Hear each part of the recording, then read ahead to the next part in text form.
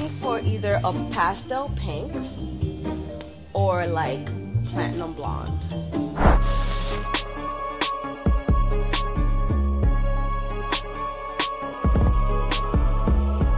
Hmm, what am I going for?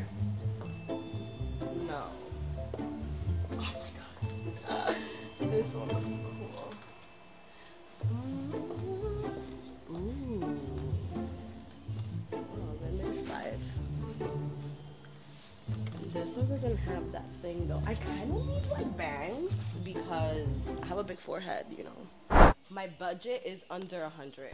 I want to try them on, so let me. So, uh, I wanted to try the wigs because that way it's like protective hairstyle. Oh my god, look at this really cute one.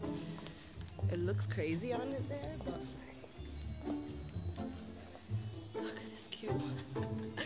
that kind of looks like my texture of hair. No, it's like blonde and curly. It's in the bag. I'm mad sweaty, you guys. My hair has mad gel.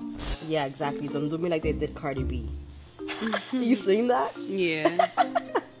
Her ears were tucked into her wig in the video with Bruno Mars. Okay.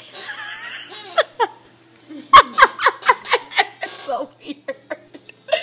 I feel so weird. Oh my god, who am Does it look like a tutuma? That's so funny. I can't stop laughing. What?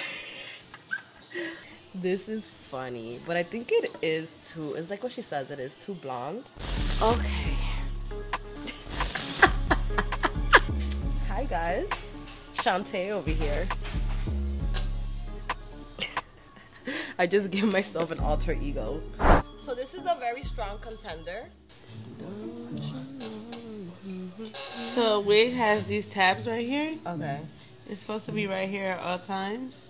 Okay. And then this is supposed to be at your hairline. Okay. That's how you know you have it already.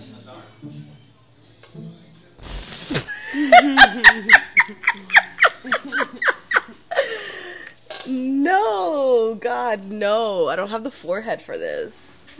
This is like legit, like, this is somebody with a little forehead's wig. I like it. I love the color. But I think I'm gonna go with that blonde curly wig. Oh my god. I'm gonna own a wig. You don't have any wig? No. I Can't wait to show my mom. Thank you so much.